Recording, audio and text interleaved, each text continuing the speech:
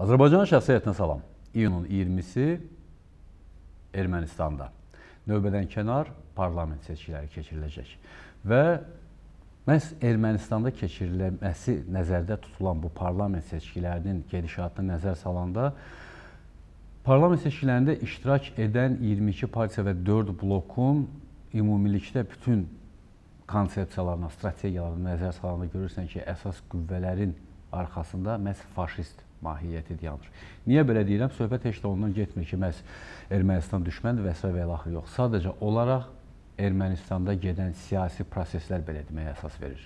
Elə bu istiqamətdə danışmaq niyyətimiz var və Bakı Politoloqlar Klubunun sədri Zaur Məmmədov real intervyuda qonağımızdır və Zaur müəllimlə məhz bu istiqamətdə danışacağıq. Zaur müəllim, hər vaxtınız xeyir. Xoş, xoş gördük sizi İlqar müəllim. 22 siyasi partiya, 4 blok və bütün bu Ermənistanda gedən siyasi proseslərin hamısı nəzər salanda məndə belə təəssürat yaranır ki, bütün qüvvələrin hamısı sanki Paşinyan və onun komandasına qarşı kökləniblər və sanki əllərindən gələni eləmək istəyirlər ki, Paşinyan hakimiyyətdən getsin. Başa düşürəm. Müharibə vaxtı uduzdular. Bu gəldi Paşinyanın hakimiyyətdə olduğu dövrə təsadüf elədi. Amma təkcə bunu mu əsas götürmək mümkündür və digər tərəfdən həqiqətən məhz Ermənistanda olan digər qüvvələr, əsasən də Kaçaryan və Sarkisyanın komandalarını nəzərdə tuturam. Onların Paşinyana qarşı olan bu aqressiyasını da həm də nə ilə əlaqələndirmək olar? Bəli, çox sağ olun İlqar müəllim. Maraqlı suala görə sizin də qeyd etdiyiniz kimi 20 e, siyasi partiyanın Hı. bu deməli e, seçkilərdə iştirak etməsi özü özündə əslində kəmiyyət baxımından e, böyük rəqəmdir. Hətta Avropa ölkələrindəki seçkilərə biz nəzər saldığında görürük ki, orada partiyaların sayı daha az olur. Reallıqda isə 20 iyun parlament seçkilərindən sonra ə, əsas sizin də vurğuladığınız kimi mübarizə hardasa belə deyək və parlamentə girişi əldə edən partiyaların sayı 5 hardasa olacaq 5-6 partiya civarında olacaqdı. Baxmayaraq ki, ümumiyyətlə parlamentə giriş ə, senzi ə, belə deyək Ermənistanda kifayət qədər azdır rəqəm olaraq və ona görə bu rəqəm əslində imkan verir ki, bir çox siyasi partiyalar parlamentdə təmsil olsunlar. İndi əsas hədəf həm Paşinyan, hə. həm Koçaryan, həm də digərlərində ondan ibarətdir ki, vahid hökumət olsun bir partiyanın ağalıq etdiyi partiya, bir partiyanın ağalıq etdiyi hökumət olsun. Və bildiyiniz kimi mübarizə Koçaryan, Paşinyan arasında gedəcəkdir. Bu bir mənalı şəkildə belədir. Əvvəldən də bu belə idi. Lakin maraqlı olan məqam ondan ibarətdir ki, əgər məsələn yanvar və fevral ayının sorğularına biz baxsaq, hətta biz aprel ayının Qalla Beynəlxalq Araşdırmalar Mərkəzinin sorğusuna nəzər yetirsək, o zaman görərik ki, Paşinyan o zaman 33% civarında Yəni həmin həftə sorğunun keçirildiyi həftə əgər seçkilər baş tutsaydı, erməni vətəndaşlarının 33%, respondentlərin daha doğrusu 33%-i ona səs vermək istəyirdi. Kaçaryanı isə yanvar ayında 3% idi. Heç 3% yox idi. Bu gün amma mayın 11-dəki sərhəd hə. insidentlərinin ə, e, genişlənməsi, sonra əsrlərlə bağlı Ermənistanda hakimiyyətin genişlənməsindən sonra Paşinyan 23%-ə enib onun səsi respondentlər tərəfindən qəbul edilir. Yəni bu kifayət qədər aşağı nəticədir, amma əvəzində Koçaryan artıq hətta 17%-ə çatıb ki, bu da e, bir mənalı şəkildə onu deməyə əsas verir ki, Paşinyan üçün son bir həftə ölüm dirim həftəsi olacaqdır -hı. və o əlindən gələn bütün resurslardan istifadə edəcəkdir. Açığı mən bu seçki proqramlarına baxdıqda siz faşizmə toxundunuz. Hə. Biz görürük ki, bütün siyasi partiyaların proqramları eyni demək olar ki, onların proqramları bir-birindən fərqlənmir. Yəni bu gün erməni vətəndaşı alternativ orada fikir görmür. Sosial-iqtisadi məsələlər haqqında ümumi hə, sözlərdir. Standart. Koçaryan deyir ki, siz mənim vaxtımda olan ə, e, belə deyək, həyata qayıdacaqsınız. Mən bilmirəm Koçaryan öz yeri gəlmişkən Koçaryan bu seçkilərdə Serj Sarkisyan'a qarşı da kifayət qədər ciddi şəkildə dolayısı yolla çıxışlar etmişdi. Çünki o bildirmişdi ki, mənim zamanımda korrupsiyaya qarşı mübarizə, iqtisadiyyat, vergiyə daxil olmalar çox idi. Serj Sarkisyanın dövründə isə azalıb və s. Paşinyanı ümumiyyətlə ittiham etmişdi. Və biz görürük ki, onlar arasında fərq nədən ibarətdir? Yeganə olaraq Bu gün Ermənistanda mən partiyaları iki, ümumiyyətlə seçkidə iştirak edənləri iki cəbhəyə bölərdim.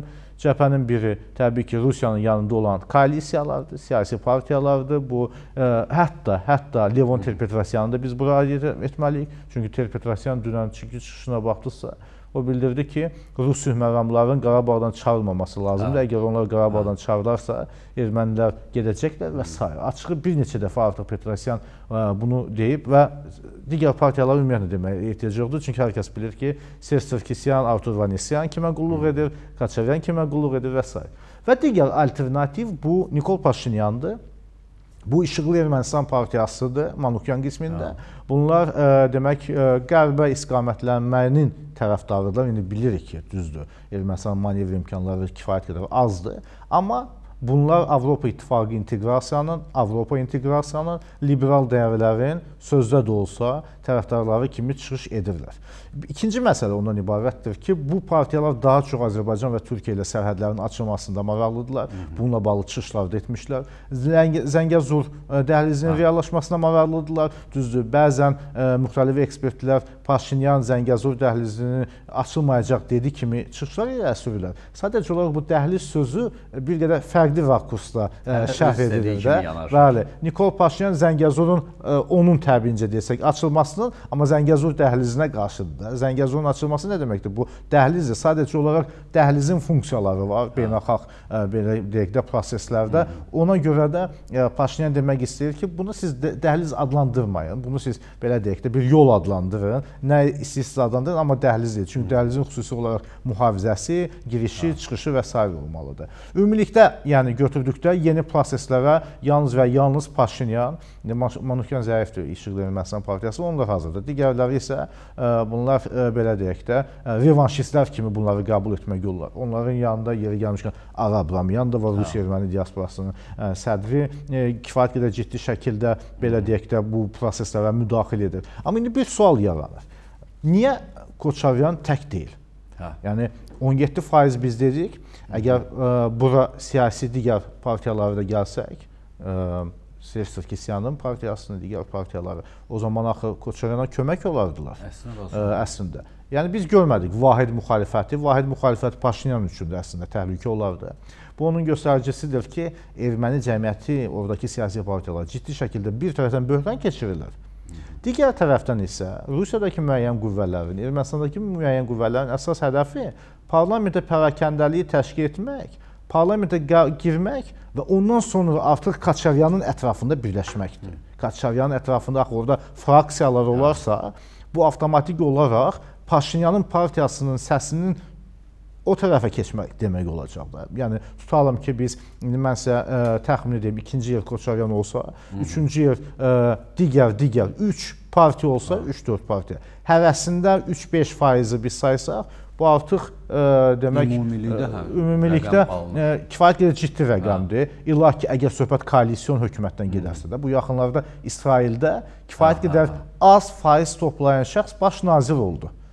Ona görə də Ermənistanda sabah kimin qalib gəlməsindən ən çox, ən əsas məsələ ondan ibarətdir ki, əgər bir partiya 50% ötməyəcəksə, o zaman kifayət qədər ciddi e, ola bilər ki, ciddi proqnoz ondan ibarətdir ki, müxalifət az səs toplayan müxalifət koalisiyanı formalaşdıra bilsin müəyyən müddətdən sonra.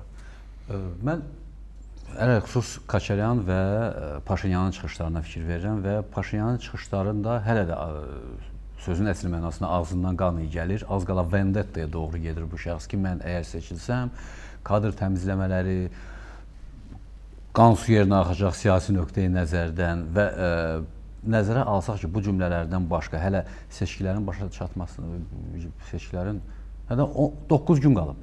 Və bu 9 gün ərzində bir məqamda nəzərə alıram ki, Ermənistan xalqının özünün vəziyyəti ümumiyyətlə belə qeyri-müəyyəndir. Müharibədə uduzandan sonra ümumiyyətlə bilmirlər ki, nə baş verir, nə edək, necə eləyək. Və bu qeyri-müəyyənlik fonunda ola bilərmi ki, bir məqamda yenə də yaxşı yadına düşdü. Etiraf eləmək lazım ki, Paşinyanın siyasi texnoloqlarda güclü komandası var. Hər halda onu neçə il olar saxlaya bilirlər. Bütün bu məqamları hamısını nəzərə alanda ola bilərmi ki, son həftədə konkret olaraq ya Kaçaryana qarşı, ya Paşinyana qarşı, ya da Sarkisyana qarşı üç real qüvvəni götürəm.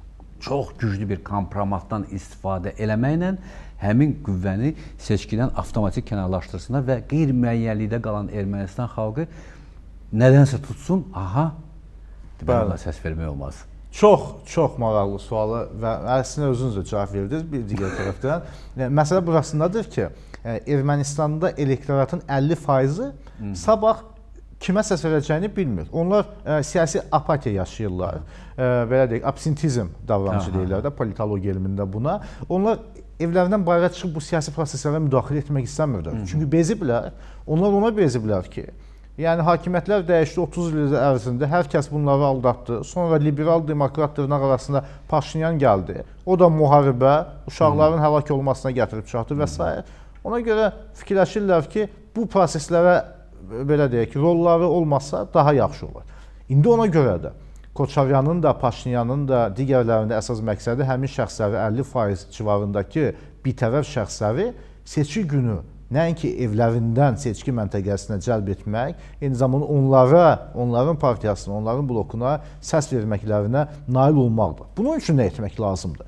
Əgər sosioloji sorğular göstərirsə, onlar arasında faiz nisbəti kifayət qədər azdırsa, Özə İlqar müəllim, bu seçkilər sadəcə kiminsə qalib gəlməsi demək deyil ki. Həmin namizədlər üçün ələn xüsus Koçaryan və Paşinyan üçün birinin qalib gəlməsi digərinin ölümü deməkdir. Hə. Digərinin linç olması deməkdir. Hə, tam razıyam. Yəni biri əgər qalib gələrsə, digəri həbsxanada olmalıdır. Naxdır. Ona görə bunları onlar yaxşı başa düşür. Onları 2000-ci illərin əvvəllərindən şəxsi zəmində münaqişələri bir çox hallarda olub. Hı -hı. Ona görə baxın 2 gün əvvəl Koçaryan Koçaryana Paşinyan deyir ki, Əgər sən kişisənsə, hünərin varsa, gəl mənə meydanda debata. Yer gəlmiş ki, etiraf edək ki, hə. Paşinyandan bütün siyasi partiyaların nümayəndələri debatdan qorxdular. Ter Petrosyan da daxil olmaqla, Vannisyan da daxil olmaqla, hə. Koçaryan da daxil olmaqla. Gəldik indi kompromat məsələsinə. Mənim mülahizəm ondan ibarətdir ki, bəli, gələn həftə e, Paşinyan ciddi, çox ciddi kompromatı Koçaryana qarşı ortaya çıxaracaq. Və bu kompromat seçkilərin taleyini həll etməlidir. Yəni elə bir kompromat lazımdır ki, artıq burada söhbət 5-10%-dən getmir də. Bütünlükdə o o elektorat dağılsın. Ha. Məfdən, bəli, məfdən gedir.